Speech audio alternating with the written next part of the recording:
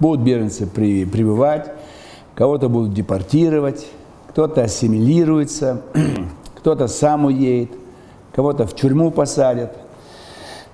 Вот пока вот такая стадия как бы. Им нужны мигранты. Почему? Американцам нужны чужие рабочие в Европе, потому что у них много филиалов американских заводов. Им нужна дешевая рабочая сила. Европейская рабочая сила очень дорогая. То есть экономический интерес у американцев. Для некоторых стран Европы стареющее население нужно решать демографическую проблему. Необходимы молодые люди, чтобы было больше браков, больше детей. Вот.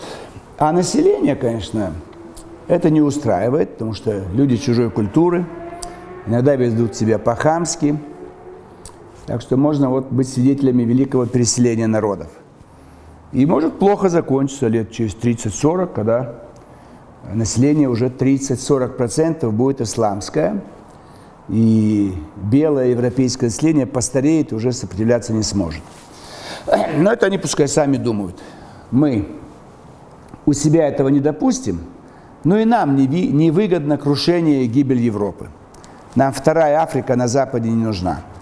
Или второй Ближний Восток на Западе не нужен. Хотя у нас с ними отношения напряженные, оттуда пришло две войны, все наши революции, все наши беды. Но сегодня уже, они и сегодня нам мешают, угрожают. натовские войска двигаются на восток, в сторону наших границ. У них проблема мигрантов с Ближнего Востока. А они угрозу видят именно как Россию. Ну, это нам неприятно, но тем не менее их не переубедить. Европа всегда была враждебна к России, но вот американцам это выгодно, с тем, чтобы Европа больше поворачивалась к Америке.